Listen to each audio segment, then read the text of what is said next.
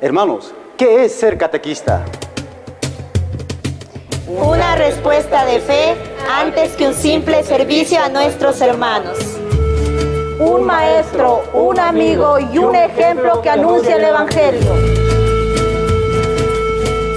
El que custodia la vida del hombre con la memoria de Dios. Alegremente, que forma sobre los principios y dogmas de la doctrina católica. Si quieres ser catequista, acércate a tu parroquia y sé parte de la iglesia. De muchas partes nos vemos llegar, somos hoy sus catequistas.